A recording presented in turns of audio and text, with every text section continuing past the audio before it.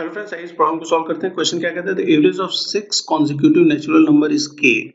If the next two natural numbers are also included, how much more than k will the average of these eight numbers be? क्या कह रहा है question में? कि छह consecutive natural number है, उनका एवरेज दे रखा है हमें कितना? k दे रखा है। कहता है कि नेक्स्ट दो, अगले दो नंबर्स भी और जोड़ लिए जाएँ। तो k से कितना ज़्यादा इन आठ नंबर्स का एवरेज होने वाला है? ठीक?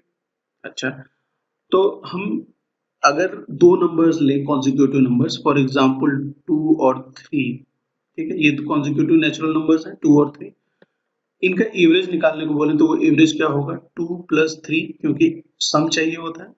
डिवाइड किससे करते हैं हम? नंबर ऑफ़ ऑब्जर्वेशन यहाँ पे कितने नंबर्स हैं? दो नंबर्स हैं तो टू से डिवाइड कर देंगे। ऊपर एडिशन में क्या जाएगा? Five by two that is equal to two point five हो जाएगा। ठीक? इसी तरीके से अगर नेक्स्ट दो नंबर और ऐड कर दें इसमें टू थ्री फोर फाइव ये दो नंबर्स और ले लिए। अब एवरेज हम फाइंड आउट करना चाहते हैं तो कितना हो जाएगा? Two plus three plus four plus five अब कितने से डिवाइड कर, करेंगे इसको? तो नंबर ऑफ़ ऑब्जर्वेशन से। अब कितने नंबर ऑफ़ ऑब्जर्वेशन है? फोर ठीक है? तो अब इसको जब हम ऐड करेंगे तो कितना आने वाला है? Five plus two seven three plus four seven मतलब फोर्टीन बाई फोर ठीक है?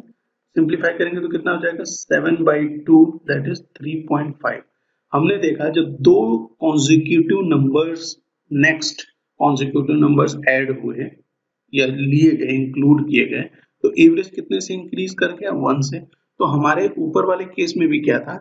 कि सिक्स कॉन्जिक्यूटिव नंबर्स थे, उसके बाद सेवेंथ लिया गया और एट्थ लिया गया, ठीक है? तो अब के से कितना ज़्यादा इंक्रीज कर जाएगा? के से अब ये के प्लस वन एवरेज हो जाएगा। दैट इज़ दैट मीन्स कि वन ज़्यादा होगा। ऑप्शन टू वन जो है, इस क्वेश्चन का सही आंसर है।